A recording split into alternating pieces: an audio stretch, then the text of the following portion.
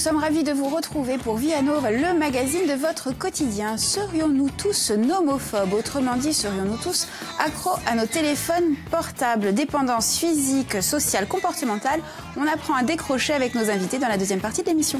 Et en troisième partie, une belle équipe. Hein. Laurane, Marie-Jo et Louis, notre intervenant venu tout droit euh, du Mexique, viendront nous parler, euh, nous éclairer sur la liberté d'informer à travers le monde. Et puis, n'hésitez pas à réagir sur les réseaux sociaux avec le hashtag Vianova et nous poser toutes vos questions. Il y aura même Charlie des États-Unis. Charlie l'américain. En Les plus. States. Ouais. Eh ouais. À notre table, notre spécialiste éducation, Laurane Bassoul. Salut, Laurane. Ça me fait toujours rire quand tu dis euh, spécialiste. La spécialiste. La spécialiste. ma Ouais, spécialiste, bonjour. La spécialiste. Ah ouais, là À vos côtés, Laurane, Sophie Dorazi, bonjour. Bonjour. Aujourd'hui, on, on fait un joli petit goûter euh, bien sympathique, un cake Un surprise. cake surprise au chocolat spécial Saint-Valentin. Voilà, c'est de saison, c'est très très. Toujours de belles surprises. Oui, vous, hein. voilà. Euh, Ça fait plaisir. Ouais. Avant la surprise, Marie-Jolie en dit Quand je ne vous surprends plus. Tous les jours, Marie-Jo. Encore et encore. Et c'est un ravissement à chaque fois. Très belle chemise. N'est-ce pas? C'est une sorte de mise en abîme. C'est très bien. Et je d'ailleurs précise que ça s'écrit avec un Y dans ce cas-là. Quoi, abîme? Exactement. Je le vois de plus en plus écrit avec un I, avec son petit accent circonflexe. Non, non, non, non. Non, Non. c'est un Y. D'accord. Bon, alors cette information, excusez-moi, Oui, parce que là, je perds du du temps, je perds du temps, excusez-moi, c'est du côté du vin, C'est une faute. information du Parisien. Euh, du côté du vin, effectivement, inquiétude pour un dauphin très proche des plaisanciers. Alors, en fait, depuis l'été dernier, on a noté la présence d'une femelle dauphin un petit peu partout sur la côte d'Azur. Bon, c'est très normal, nous dit l'association SOS Grand Bleu, parce que ce sont des animaux qui peuvent faire 60 km en une journée, donc effectivement, on peut l'avoir vu un peu partout.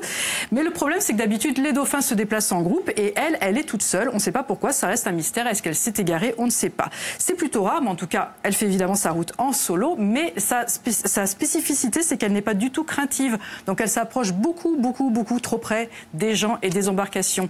Qu'elle a été photographiée, filmée dans les ports, les gens sont ravis. Mais en fait, elle a aussi été blessée par une hélice Eh il y a oui. fort peu de temps parce qu'elle s'approche vraiment, vraiment trop. Et puis euh, l'association aussi, donc euh, SOS Grand Bleu et euh, le port de, de, pardon, le parc national de Port-Cros rappellent aussi que ça reste un animal sauvage qui peut peser quand même jusqu'à 200 kilos et qu'un plongeur qui s'approcherait trop pourrait être blessé d'un seul coup de queue. Donc voilà, on fait très attention, on fait gaffe au, au syndrome flipper le dauphin parce que ouais, c'est super, c'est joli, etc. Mais on a appris aussi que les comportements qui ont l'air sociaux sont parfois des comportements de crainte. Donc on s'approche pas. Elle peut être porteuse de maladies. Ah et oui, puis en de plus. toute façon, Mm. oui, vous savez, hein, les Sur sauts, peau, vous oui. avez expliqué Mm. que les sauts, Ah en oui, fait, c'était du stress. Et la maladie sur la peau aussi. Et la maladie Ouais. sur la peau, voilà. Donc euh, on la touche pas, ça, ça l'aidera sûrement à survivre un petit peu à ce moment qui doit être un peu délicat pour elle. Très bien, on suit ces recommandations, Marie-Jo. Merci beaucoup. Laurane, Oui. panique dans le dico Qu'est-ce que- qu'est-ce qui se passe dans le dico. Complot dans le dico. Complot dans le dico. C'est euh, une Eh, pleine forme. hein. Oh oui, euh, tout à fait. Donc c'est une pièce de théâtre euh, qui s'appelle Complot dans le Dico, qui va euh, être jouée à la CCAS de Portich du euh, 12 au 15 février. Et donc qu'est-ce que c'est? Donc c'est une association, c'est l'association Prévention Maïf en partenariat avec l'éducation nationale et la caisse mutuelle complémentaire d'action sociale de Corse. Qui fait venir le théâtre des Dunes euh, pour jouer cette pièce, donc qui, est euh, mise en scène par Nathalie Bigorre et qui met en avant les aventures du mot risque euh, au pays des mots. Donc les représentations vont cibler les enfants à partir de 8 ans, mais aussi les adultes.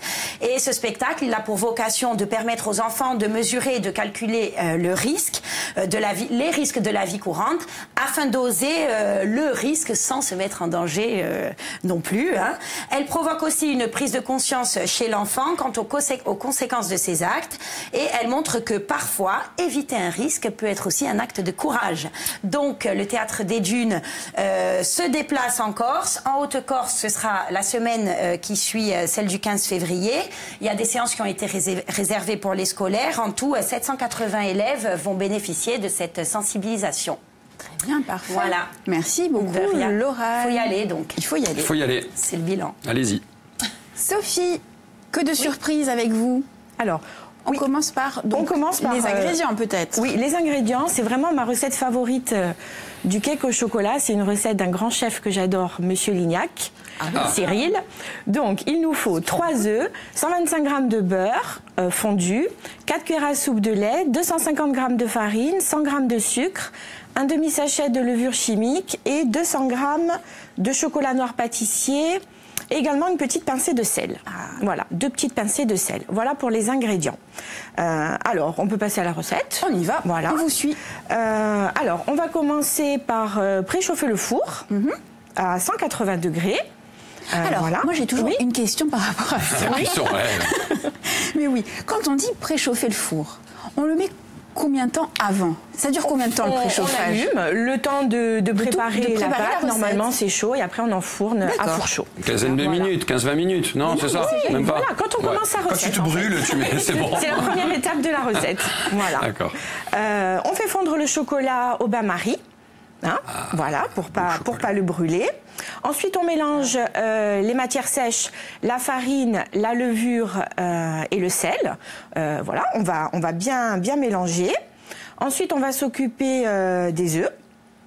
Une fois qu'on a terminé euh, au niveau des matières sèches, voilà. Faut pas éloigner le sel de la levure, c'est pas un problème. Non, on peut mettre ensemble. hein. D'accord. On va séparer les blancs des, des jaunes, puisque là, on va pas les mettre en même temps cette fois-ci. À les jaunes, on leur ajoute euh, le sucre. Mhm. Et on mélange toujours notre mélange blanchi mousseux, toujours le même. Voilà. Ouais, on va rajouter le beurre qu'on a fait fondre au micro-ondes. Voilà.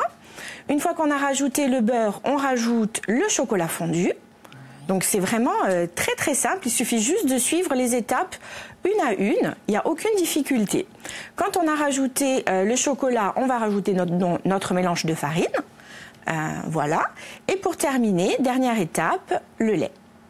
On remue qu'à la fin, hein, on met tout. On euh, remue à la fin euh, au, au batteur. Ça Ah va ouais, donner une pâte quand même pas. assez consistante. Et pour euh, délayer un petit peu cette pâte et la rendre un peu plus aérienne, c'est là qu'on monte les blancs d'œufs qu'on va incorporer très délicatement euh, en enrobant pour pas casser euh, les bulles d'air. Et là, notre pâte euh, au chocolat est prête. Voilà. Super. Mais on va pas faire un simple cake au chocolat. hein, Non, vous connaissez. Voilà, la Saint-Valentin m'a inspiré. On va essayer euh, de faire un cake surprise pour que, à la découpe, on découvre à l'intérieur du gâteau un cœur rouge. Oh. Donc je vous ai fait un petit tuto en vidéo. On fait un gâteau yaourt, étape 1. Très simple. Ah oui, ouais, il faut Je vous mettrai gâteaux. la recette du gâteau yaourt euh, sur mon Facebook euh, Sophie Gâteau Ajaccio pour ceux qui l'auront oublié. On va colorer cette pâte, c'est l'étape 2, avec du colorant, donc la rouge. Attention, on y va à fond parce qu'à la cuisson, la couleur s'estompe toujours un petit peu. Donc on fait un petit peu plus soutenu que ce qu'on veut. On fait cuire ce gâteau yaourt dans le moule à cake. On découpe des tranches de 2 à 3 cm. À l'intérieur, au centre de ces tranches, on va découper à l'emporte-pièce Le petit cœur. le motif que l'on veut. Donc là, moi, j'ai choisi un cœur pour la Saint-Valentin. Dans le moule à cake, on met un petit peu de pâte au chocolat au fond. On range les petits cœurs bien serrés. On verse notre pâte euh, à cake dessus et on enfourne. Et la surprise est prête. Et normalement, à la découpe, on doit s'apercevoir qu'au centre, il y a le motif désiré. Donc il faut le même temps Voilà. de cuisson pour euh, le cœur Oui, et le gâteau au chocolat. Non, mais- Non, pourtant j'ai fait un tuto en photo. si, si, moi j'ai super bien compris. Je vous réexpliquerai à Moi aussi, mais je vais le faire, je vais le faire. J'allais vous dire, Sophie, on vous écoute avec beaucoup d'intérêt. Mais on le goûte pas, du coup, le gâteau. Ah, bah, allez-y, allez-y, mais on arrive en fin d'émission. Allez, vous avez 10 secondes. Et on Même va pas. Montrez- effectivement, Allez, on va se rejoindre en deuxième partie, c'est magnifique, regardez. Si on peut le voir. Superbe. Est-ce qu'on arrive à le voir Non, on peut pas. Bon, vas-y, allez-y, passez-le- moi. C'est magnifique. Regardez comme c'est beau. Allez, on se rejoint en deuxième partie, on va parler des dangers du téléphone portable.